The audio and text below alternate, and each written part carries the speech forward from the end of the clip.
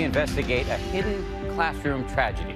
It's called passing the trash, the practice of school administrators unloading problematic teachers onto other schools by hiding allegations of sexual misconduct, sometimes even providing recommendations and then looking the other way. Now, two brave young women are speaking out to end this. Here's ABC's Amy Robach. He started touching us in unproper places. This is the footage of a young girl alleging abuse in her elementary school classroom. So you're more comfortable in that chair? Yeah. Okay. Nallely Hernandez struggling to find the right words to describe the inexplicable as part of a 2009 police investigation into alleged abuse at Fairview Elementary School in Espanola, New Mexico. Well, he touched us like right here and all that. And sometimes he stuck his hand deeper in. And then I, I used to always wear my jacket and then never wear skirts. I always used to wear pants because I was afraid. So when you say he stuck his hands right here, um, was that on your clothes or on your skin? On my skin. Nallely alleges that she was preyed upon by her fourth grade teacher, Gary Gregor. Now, 10 years later, she says those memories still haunt her. Makes me mad because he's standing next to so many children who are unaware of the person he is. A person, it turns out, who had a trail of allegations of misconduct following him for years across two school districts from state to state, classroom to classroom. Nallely says the class was different from the start. Gregor showering a group of girls with gifts. I remember getting a white t shirt with purple flowers on it and it said my name on it. I got a little notebook. It was green, my favorite color. Singling them out for special treatment. He would have us sit next to him in the classroom as we had elected officials, um, council members, and I was always on that council. I felt like I had some kind of power in the class, especially above the other students who didn't get elected. In front of the classroom, seated next to Gregor, Nallely says she became a target for abuse. Me, I'll do pink. I drew dots on the spots where we were touched, and different colors are for different girls. It just felt strange to have to talk about it at such an such a young age when I wasn't comfortable even saying the words. He told you to go in the closet and then what? And then he said he wanted us to kiss him. The thing that I remember the most was feeling the warmth of his breath next to my face on my ear or his lips touching mine and it just didn't feel right and I didn't want it and I wanted it to end but I was so afraid. Nallely's story is familiar. It is an explosive reality. The Department of Education estimates that 4.5 million students experience sexual misconduct at the hands of a school employee sometime between kindergarten and 12th grade. Another government report found that in its study, on average, one child predator in schools had as many as 73 victims, sometimes without ever being caught. Furious loopholes in the state system make it easy for predators to evade detection. Top school leaders continue to allow predatory teachers to move from one classroom to another.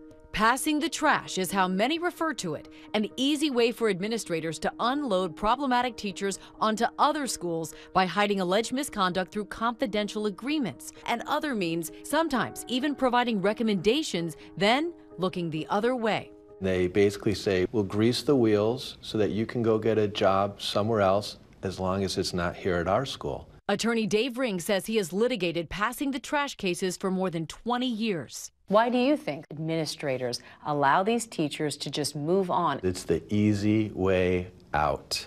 It's the quickest, most efficient solution to get rid of a dangerous teacher. Get him out of our school, let someone else deal with him, hold our breath. Long before Nallely, Gary Gregor taught fifth grade in Utah. In 1995, the state charging him with sexual abuse of a child.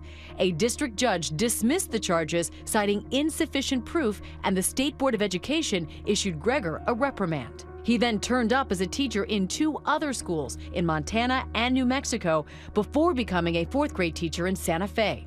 There, during a field trip in 2004, museum staff reported seeing Gregor inappropriately touching students.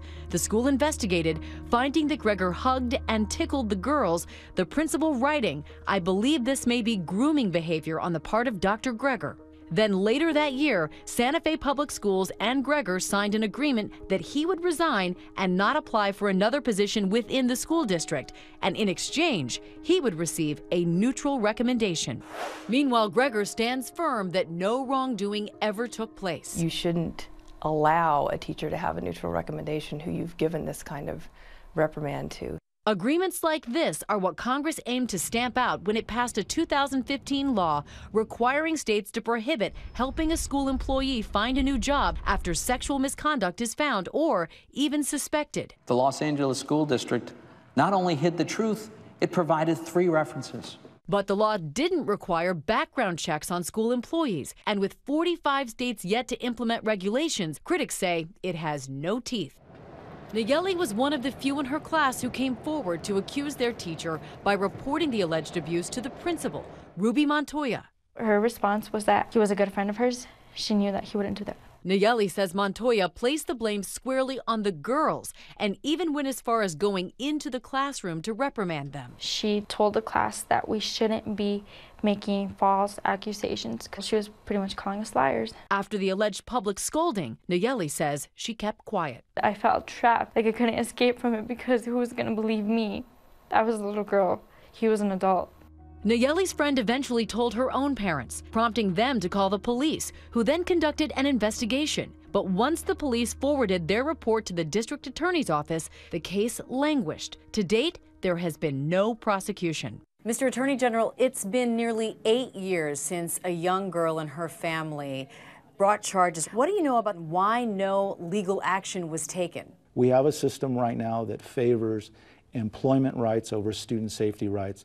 It's a real wake up call for the country. The burden, unfortunately, is put on the backs of young students, and we have predators who are trained to groom, and simply there were too many systemic failures involved. Most importantly, what's detrimental here is that administrators are knowingly allowing an educator that's high risk to go and seek employment in other districts and other states, and I think that is a, a horrific tale that needs to be remedied immediately.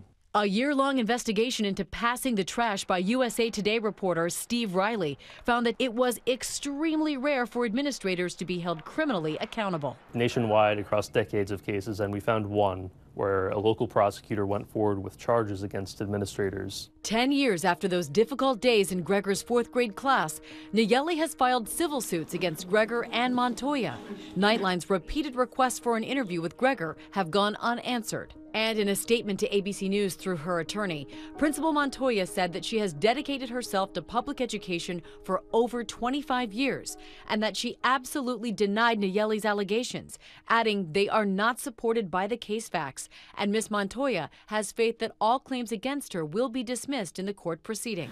This is the first step and the judge issues this scheduling order. Nallely, who is now in college, has a simple wish. I would only hope that he would tell the truth by not saying the truth, he is pretty much calling me a liar straight to my face, saying that a little fourth grade, nine year old girl is lying about something that hurt her. And she may now also face Gregor in a criminal court. I'm pleased to announce that we have gathered and secured enough evidence that we'll be moving forward um, and have notified the individual in question for uh, a grand jury hearing. I was appalled by this case. We are pursuing all options of any potential individuals who failed to provide safety, security, and protection for these children. Nallely has forged ahead and dreams of making a positive difference in the lives of children. I've actually considered being a teacher. I love children so much, and I know that there's so much that I can do for them.